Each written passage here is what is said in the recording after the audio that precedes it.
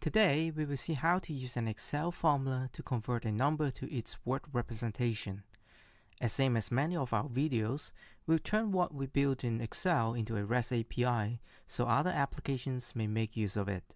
So stay tuned.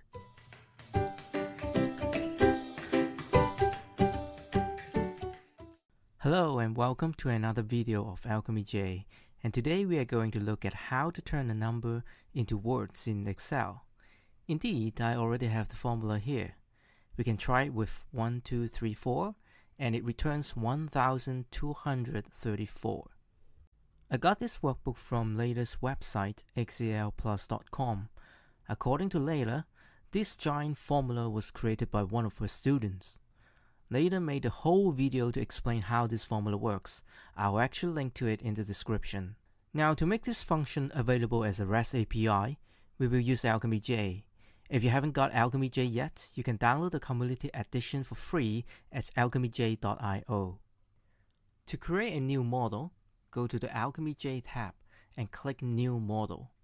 Select REST API Sample Model since we want to create a REST API. Next, grab the formula and paste it into B2 in our workbook. This formula expects the number input in B1. Let's enter a number and test it. Fantastic. Since we are using the REST API sample template, it already contains default values for the API definition. So if we generate the API now, it will work.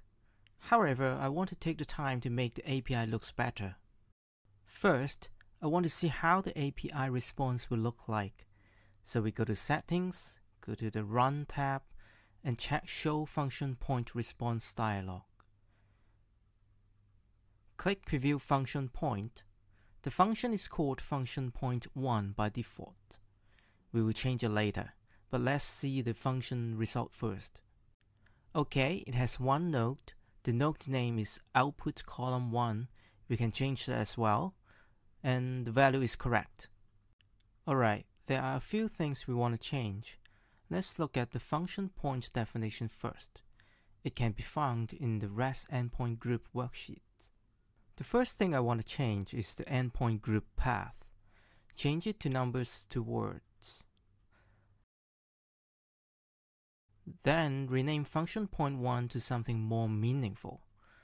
I will use the find and replace tool so that it changes all function point 1 on this worksheet to two words.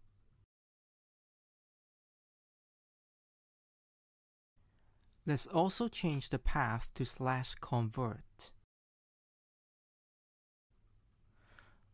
What columns C, D, and E mean is that our function is a get operation. It returns a JSON structure and the structure definition can be found on BizLogic worksheet in range A9 to L10. Let's navigate to this address by highlighting the cell and click Go to Address.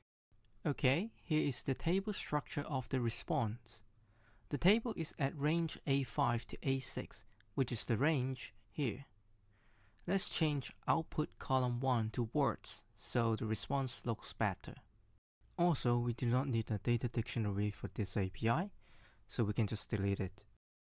And one final thing, I want to change the input parameter name. So go back to our function point definition. In the input parameters table, change input underscore parameter underscore 1 to number and the data type should be double. This definition means the function will look for a parameter called number in the URL. The value should be a double since this function supports decimal numbers as well.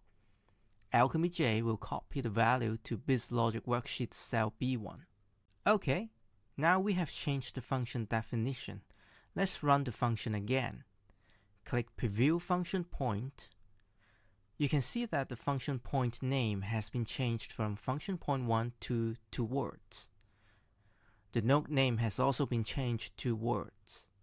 It looks great. We can further customize the API for sure, but I don't want to make this video too long. So let's generate the API. It asks me to save the workbook, give it a name, and save it.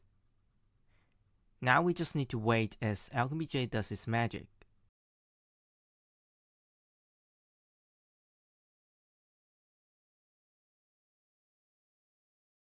We are all set. We can test this API immediately by going to its Open API website. Click Open API to launch it. Okay, we have our function here. Click Try it out. Let's try 1, 2, 3, 4. Click Execute, and the result is 1234. It looks good. We can also test this function by visiting this URL. So copy this URL and paste it into your browser. Let's change it to 99999. It gives us 99,999 euro. You can imagine that this numbers to words function is only an example of many great things that Excel formula can do. Check out other videos on our channel to see more examples and find out how AlchemyJ can help you. I hope you find this video useful. If you like this video, please give it a thumbs up and subscribe to our channel. Feel free to leave us your comments below. I shall see you soon in the next video. Bye.